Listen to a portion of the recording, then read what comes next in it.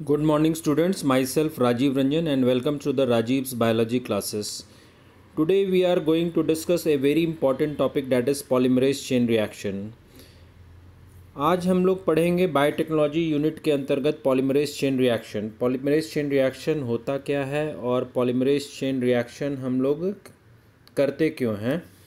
तो polymerase chain reaction पहले हमें ये जानना होगा कि पॉलीमरेज चेन रिएक्शन होता क्या है। तो पॉलीमरेज चेन रिएक्शन एक ऐसी तकनीक है जिसके माध्यम से हम DNA small amount of DNA को लार्ज अमाउंट ऑफ़ डीएनए में कन्वर्ट कर सकते हैं। यानी एक स्पेसिफिक डीएनए फ्रैगमेंट्स की हम मिलियंस ऑफ़ कॉपीज़ तैयार कर सकते हैं by using this PCR technology जैसे हम लोगों ने प्रीवियस चैप्टर्स में पढ़ा था सेल बेस्ड जीन क्लोनिंग यानी कि क्लोनिंग में हम लोग क्या करते थे कि स्पेसिफिक जीन को क्लोन करते थे with the help of vector लेकिन यहाँ पर क्या है, हम लोग सेल फ्री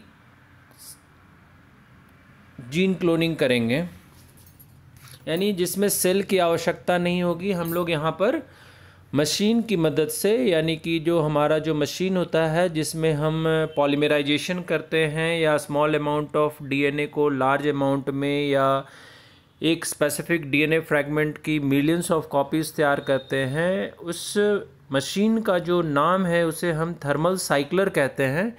थर्मल साइक्लर इसलिए क्यों कहते हैं, क्योंकि हम यहाँ पर टेम्परेचर का साइकिलिंग कराते हैं, यानी टेम्परेचर का वेरिएशन कराते हैं, यानी एक बार टेम्परेचर हाई होता है फिर लो होता है और फिर हाई होता है। इस तरीके से we are varying the temperature at different intervals during polymerization reaction और पीसीआर टेक्निक पीसीआर टेक्निक के दौरान हम लोग टेम्परेचर का वेरिएशन कराते हैं। इस वजह से जो मशीन यूज़ होती है इस तकनीक में, उसे हम थर्मल साइक्लर कहते हैं और इस रिएक्शन को हम लोग पॉलीमरेज चेन रिएक्शन कहते हैं, क्योंकि इसमें थ्री डिफरेंट स्टेप्स में रिएक्शन को परफॉर्म किया जाता है। इस वजह से इसे पॉलीमरेज चेन रिएक्शन कहते हैं। तो सबसे पहले क्या है कि पीसीआर तकनीक जो है, उसके द्वारा हम लोग क्यों करते हैं पीसीआर तो पीसीआर करने का पर्पस ये है कि यदि किसी क्राइम सीन पर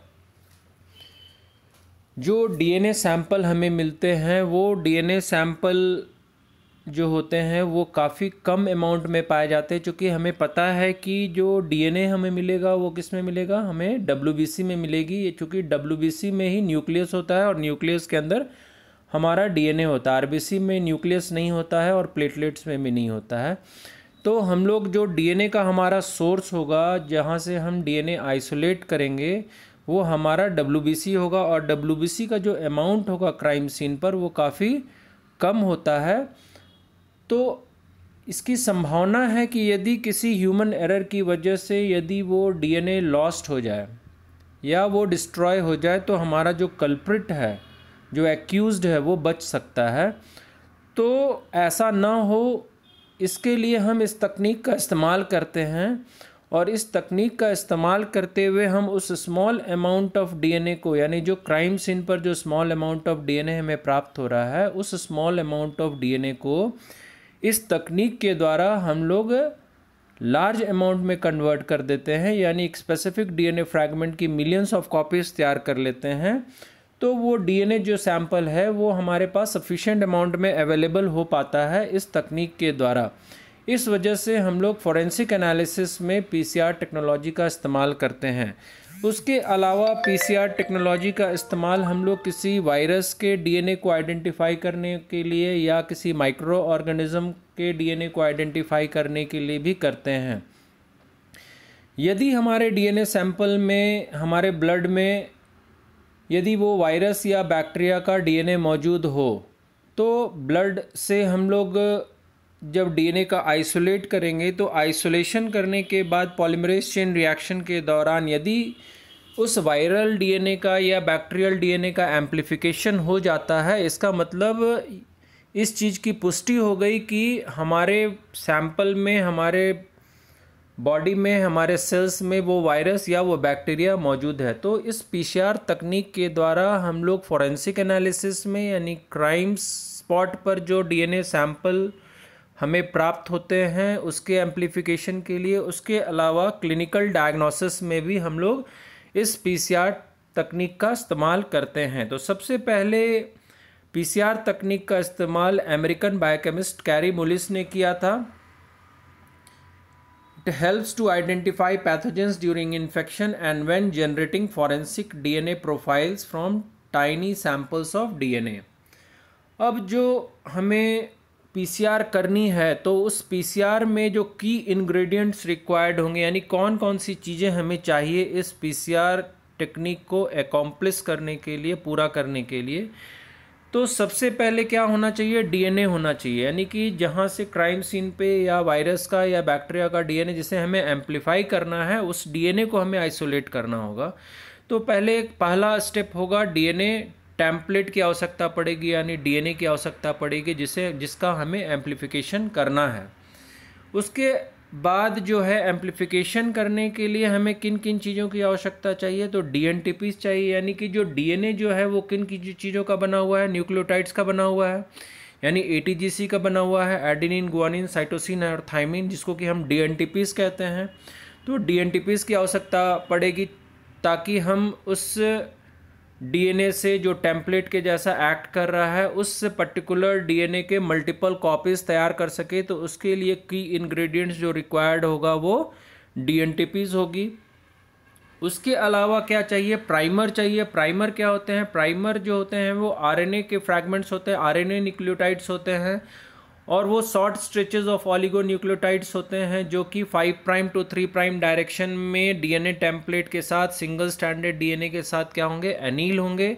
और एनिलिंग होने के बाद तब हमारा डी जो है उस प्राइमर के साथ अटैच होगा और पॉलीमराइजेशन करेगा with the help of an enzyme that is known as Taq polymerase enzyme तो टैग पॉलीमरेज क्यों यूटिलाइज किया जाता है? चूँकि ये टैग पॉलीमरेज जो है, ये hot spring bacteria archaebacteria से ऑप्टेन किया जाता है। और ये जो एंजाइम है, ये थर्मोस्टेबल एंजाइम है। चूँकि जब हम पीसीआर करते हैं थर्मल साइकिलर में तो जो टेम्परेचर होता है वो हाई होता है अराउंड 92 डिग्री सेंटीग्रेड होता है या 72 डिग्री सेंटीग्रेड होता है या 50 टू 60 डिग्री सेंटीग्रेड होता है। तो जो नॉर्मल डीएनए पॉलीमरेज होता है तो यदि हम उसका इस्तेमाल करेंगे तो it is not thermostable it is thermolabile तो वो डिस्ट्रॉय हो जाएगा इस पर्टिकुलर टेम्परेचर पर। तो इस वजह से हम लोग आर्ची बैक्टीरिया या हॉट स्प्रिंग बैक्टीरिया में, जिसे कि हम थर्मस एक्वेटिकस कहते हैं, उस थर्मस एक्वेटिकस बैक्टीरिया से हम इस टैक पॉलीमरेज एंजाइम को ऑप्टेन करते हैं, जो कि पीसीआर रिएक्शन को करने के दौरान इसका इस्तेमाल करेंगे। और चूँकि ये एंजाइम थर्मोस्टेबल होता है तो थर्मोस्टेबल होने की वजह से ये उस पर्टिकुलर टेम्परेचर पर डिस्ट्रॉय नहीं होगा और हमारा रिएक्शन जो है वो एकम्प्लिस्ड हो जाएगा, हमारा रिएक्शन पूरा हो जाएगा। Because this enzyme is thermostable enzyme उसके अलावा जो चीज़ ज़रूरत होती है, वो बफ़र की आवश्यकता होती है। चूँकि बफ़र जो है, वो क्या करता है? It resist the change in pH हमारे जो जितने भी जो मिक्सचर हैं, जो मास्टर मिक्स हम लोग तैयार करते हैं, उसमें क्या क्या चीज़ें हो गई? डीएनए हो गया टेम्पलेट हो गया हमारा न्यूक्लियोटाइड्स हो गया, यानी डी हो गया, उसके अलावा प्राइमर हो गया, और टैक पॉलीमरेज एंजाइम हो गया, और बफर हो गया। This is called master mix और इस मास्टर मिक्स को लेकर के हम लोग पीसीआर मशीन में या थर्मल साइकिलर में उस मास्टर मिक्स को डालते हैं, और उसकी प्रोग्रामिंग की जाती है और ये जो रिएक्शन है वो तीन डिफरेंट स्टेप्स में होता है। पहला जो स्टेप होता है वो डीनेचुरेशन का होता है। डीनेचुरेशन का मतलब क्या होता है कि जो हमारा डीएनए टेम्पलेट है डीएनए टेम्पलेट का मतलब क्या हुआ? ये ये डीएनए टेम्पलेट है हमारा, यानी कि डबल स्टैंडर्ड डीएनए है। ये डबल स्टैंडर्ड डीएनए जो है, वो सिंगल स्टैंडर्ड डीएनए में कन्वर्ट होगा। यानी बीच का जो हमारा हाइड्रोजन बॉन्ड है, ये हाइड्रोजन बॉन्ड क्या होगा? ब्रेक होगा। मतलब हम लोग क्या करते हैं कि थर्मल साइक्लर में जो डिनेचुरेशन टेम्परेचर होता है, वो अराउंड 94 डिग्री सेंटीग्रेड होता है। तो 94 डिग्री सेंटीग्रेड पर क्या होगा कि डबल स्टैंडर्ड डीएनए जो है हमारा, जब हम उसको 94 डिग्री सेंटीग्रेड पर हीट करेंगे इन थर्मल थर्मल साइक्लर तो हमारा जो ये हाइड्रोजन बॉन्ड है, ये हाइड्रोजन बॉन्ड ब्रेक हो जाएगा। और हाइड्रोजन बॉन्ड ब्रेक होने के बाद this specific DNA double stranded DNA is converted into single stranded DNA, और इसके दो एंड होते हैं five prime to three prime end और दूसरा जो कॉम्प्लीमेंट्री स्टैंड होगा वो three prime to five prime end होगा। तो इस तरीके से जो डबल स्टैंडर्ड डीएनए है during denaturation it is getting converted into single stranded DNA इसके बाद जो है, हम लोग क्या करेंगे? एनलिंग करेंगे। एनलिंग का मतलब क्या होता है? एनलिंग का मतलब ये होता है कि जो हमारा सिंगल स्टैंडर्ड डीएनए कन्वर्ट हुआ है, उसमें हमारा पहला एंड क्या है? फाइव प्राइम एंड है और दूसरा क्या है? थ्री प्राइम एंड है और complementary strand three prime end है और फाइव प्राइम एंड है। तो इस, इससे जो है आरएनए जो न्यूक्लियोटाइड्स हैं, जो प्राइमर है that is made up of RNA तो आरएनए जो है हमारा वो कहाँ पर एनील होगा? तो उसका कॉम्प्लीमेंट्री मतलब five prime to three prime है तो हमारा जो ग्रोइंग स्टैंड होता है, वो हमेशा डायरेक्शन क्या होगा उसका? Five prime to three prime तो ये इस डायरेक्शन में ग्रो करेगा मतलब इसका कॉम्प्लीमेंट्री क्या हो गया? इसका एंटी पैरेलल स्टैंड क्या हुआ? फाइव प्राइम और ये स्टैंड जो हुआ, वो थ्री प्राइम हुआ। उसी तरीके से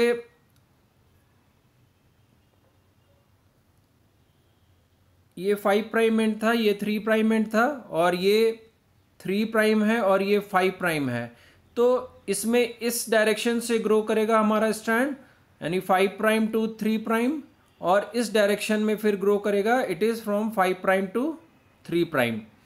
तो इस तरीके से जो डी हैं, वो फाइव प्राइम टू, यानी चूँकि थ्री प्राइम एंड पर हमारा हाइड्रोक्सिल एंड होता है तो hydroxyl end is essential for growing for synthesizing this growing chain तो वहाँ पर हमारा डी जो है, यानी एडेनिन ग्वानिन साइटोसिन और थाइमिन जो है न्यूक्लियोटाइड्स है, वो ऐड होंगे और उस सिंगल स्टैंडर्ड डीएनए को, इस सिंगल स्टैंडर्ड डीएनए को,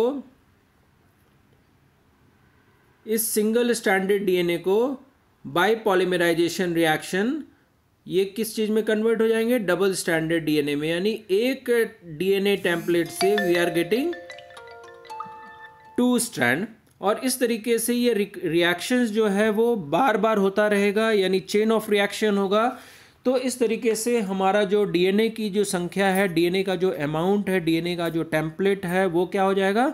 बढ़ता चला जाएगा, यानी two to the power n यदि हम दो स्टैंड से लेकर के चल रहे हैं और एन नंबर ऑफ़ साइकिल तक चलाएँगे यदि रिएक्शन को तो जो जितनी साइकिल चलेगी, सपोज़ यदि two to the power four cycle हम कर रहे हैं तो इसमें संख्या कितनी हो जाएगी? Two into two into two into two यानी two into two four four into two eight and eight into two यानी टोटल स्टैंड कितने में मिल जाएँगे? सिक्सटीन मिल जाएँगे. तो इस तरीके से हम देखते हैं कि जो पीसीआर के जो तीन डिफरेंट स्टेप्स हैं, पहला डीनेचुरेशन हुआ। डीनेचुरेशन के दौरान हमने क्या किया? डब जो हमारा डबल स्टैंडर्ड डीएनए था उसको हमने with the application of heat at 94 degree centigrade we have converted दो double stranded DNA into single stranded यानी और एनिलिंग के दौरान आर प्राइमर जो है वो सिंगल स्टैंडर्ड डीएनए के साथ एनिल करेगा और एक्सटेंशन के दौरान क्या होगा? एट 72 डिग्री सेंटीग्रेड एनिलिंग का टेम्परेचर कितना होता है? 50 टू 60 डिग्री सेंटीग्रेड के लगभग होता है। और एक्सटेंशन में जो टेम्परेचर होता है वो अराउंड 72 डिग्री सेंटीग्रेड होता है। उस टेम्परेचर पर जो डी है वो ऐड होंगी और टैक पॉलीमरेज एंजाइम जो है, जो थर्मोस्टेबल एंजाइम है, वो उस डी एन को ऐड करेगा और इस तरीके से हमारा जो डीएनए स्टैंड है डीएनए टेम्पलेट है it will get converted into double stranded DNA इस तरीके से हम लोग यहाँ पर फिगर में देख पा रहे हैं कि किन किन चीज़ों की आवश्यकता पड़ रही है। तो पहला डीएनए सैंपल है, उसके बाद प्राइमर आरएनए प्राइमर न्यूक्लियोटाइड्स हैं। टैग पॉलीमरेज थर्मोस्टेबल इंजाइम है और इन सारी चीज़ों को मिला करके we are preparing master mix और ये क्या है? एपेंड्रॉफ ट्यूब है that is also known as PCR tube and this is thermal cycler thermal cycler में हम इस मास्टर मिक्स को डाल देते हैं और डालने के बाद प्रोग्रामिंग सेट कर दी जाती है। यानी पहला जो स्टेप होगा वो डीनेचुरेशन का होगा, जो कि 94 डिग्री सेंटीग्रेड या 95 डिग्री सेंटीग्रेड पर होता है, जिसमें कि डबल स्टैंडर्ड डीएनए है, वो कन्वर्ट हो रहा है सिंगल स्टैंडर्ड डीएनए में, जैसा हम देख पा रहे हैं।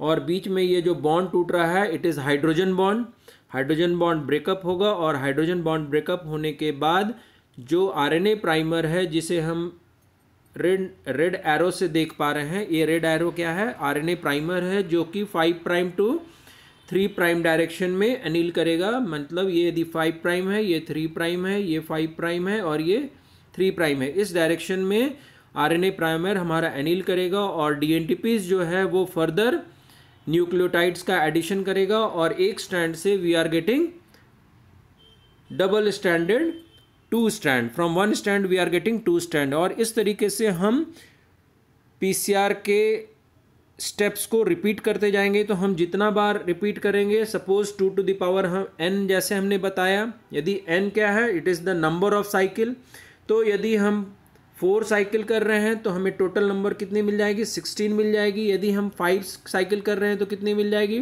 ट्वेंटी मिल जाएगी, यानी two to the power five.